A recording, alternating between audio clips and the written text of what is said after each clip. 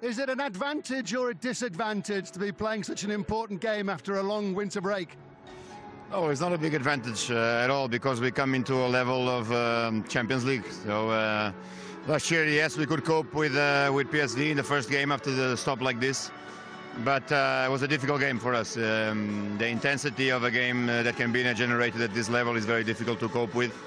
And uh, we hope that we are able to keep our organization in a way that uh, we take the, um, a good score for the second leg and, um, and, achieve our objectives there. You've had six matches, so you've had a lot of practice. Uh, what's your assessment of where your squad are at the moment? Are you pleased with what you see? Well, I think physically we have achieved a lot. I mean, we, we have uh, put more training sessions for the boys. We have, we have uh, trained them in volume a lot.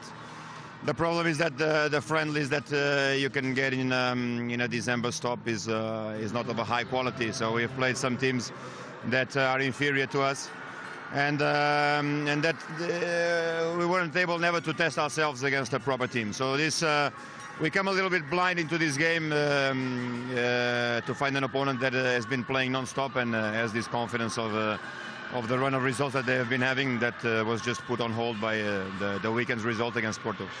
Is there a key factor that might settle the result? Looking at the Benfica side, looking at your side, what are you expecting? Is there a key factor? Uh, I don't know. I mean, we, we are very good on um, on counter-attacking situations. It's been our success this season. Uh, of course, we will be looking into having these uh, situations in attack.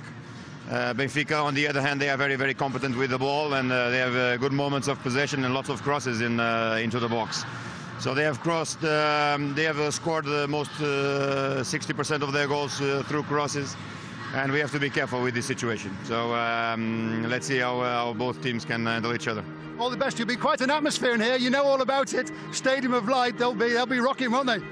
Yeah, it's a difficult stadium to play. Fortunately enough, I've been uh, very happy here. I, uh, hopefully we can continue to do that. Thank you. Thank you.